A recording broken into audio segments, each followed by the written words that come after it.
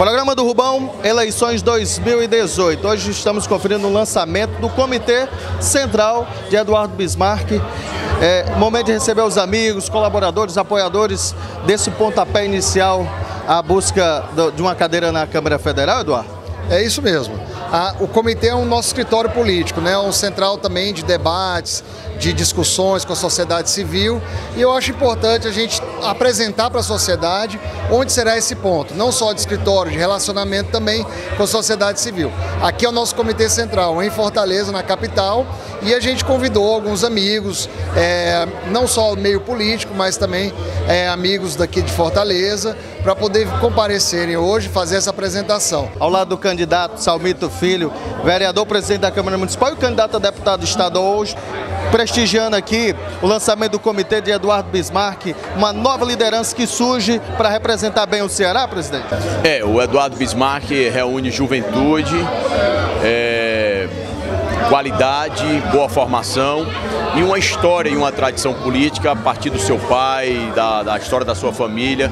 Seu pai que foi deputado federal, foi secretário de turismo do estado do Ceará com grandes contribuições à época do governo Cid Gomes, do governador Cid Gomes e também como prefeito de Aracati. Tenho certeza que o Brasil precisa renovar e renova com Eduardo Bismarck, esse jovem advogado competente e que vai dar uma grande contribuição lá no Congresso Nacional. Nós cearenses estamos de parabéns. O Eduardo ele é jovem, é novo, bondadoso, cheio de entusiasmo, mas tem a experiência, tem a vivência, tem a tradição do pai, de tios que tem atuado na política do Estado do Ceará há algum tempo. Tanto é a tradição junto com a disposição e a novidade e a preocupação com o futuro do Ceará. Sim, sem dúvida alguma, o Eduardo é capacitado, é um jovem com vasto conhecimento em Brasília, das tratativas, de como se deve andar para ajudar o Estado do Ceará. E nós, no consenso com o senador Eunice Oliveira, decidimos apoiar o Eduardo na minha base, onde eu voto, que é o município de Trairi. Com os meus amigos daquele município, estamos dando esse apoio à candidatura do Eduardo, na esperança de estarmos colaborando com o Ceará, estarmos colaborando com o Brasil. O Eduardo é alguém jovem, muito qualificado, mas que vem uma tradição política também muito grande ali no Aracati.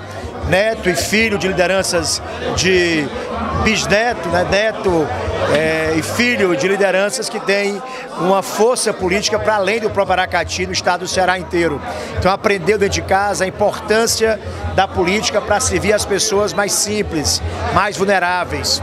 Né? E além de tudo se preparou, se qualificou, é alguém que realmente é um dos sopros, um dos novos sopros de renovação nessa, nessa disputa pelo Parlamento Federal. A gente está aqui nessa noite de alegria, de, de festa, né, para inaugurar aqui o comitê do Eduardo Bismarck, meu parceiro, meu irmão, uma revelação da política, que desponta aí como um nome que encanta todo o Ceará, que conquista todo o Ceará com sua simplicidade. Olha, é ótimo né, que nós tenhamos aqui né, nesse comitê, abençoado aqui por Deus, o nosso candidato Eduardo, que é um jovem né, que pode dar muito da sua energia para melhorar ainda mais o nosso querido estado do Ceará, para juntos em Brasília fazermos um grande trabalho em prol daqueles que efetivamente precisam é, da mão amiga, do braço amigo, é, daqueles que se propõem a representar e representar bem a população do Estado. Hoje você conferindo na internet, no programa do Rubão, a inauguração do comitê de Eduardo Bismarck. Eu estou aqui do lado do prefeito de Aracati, momento especial, celebrando com amigos, colaboradores, apoiadores da campanha do Eduardo, um, uma nova promessa para o cenário político do Estado do Ceará, prefeito? Não tenho dúvida, fico muito da felicidade que tem, não só o político Bismarck, o prefeito, de ver a esperança que nós temos num candidato a deputado federal que possa representar bem o Ceará e o Brasil.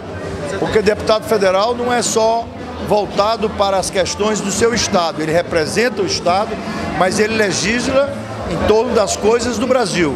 E eu tenho certeza que o Ceará vai mandar para a Câmara dos Deputados para falar pelo Ceará, para representar os municípios do Ceará e para representar o, o, nosso Aracati também, que é a terra dele, vai mandar para o, para o Congresso Nacional um grande deputado, preparado, um garoto novo, mas já experiente, um advogado já com bastante experiência, com um vínculo é, em Brasília de relações é, institucionais e relações de amizade que vai lhe facilitar o trabalho, conhece o Congresso Nacional, conhece as pessoas por força de ofício que trabalham, deputados e senadores e membros de uma maneira geral como funcionários do Congresso Nacional, que vai tranquilamente lhe dar muita chance. Fiquei muito feliz aqui hoje, sobretudo com vocês estando aqui, com a imprensa, com as pessoas que estão visitaram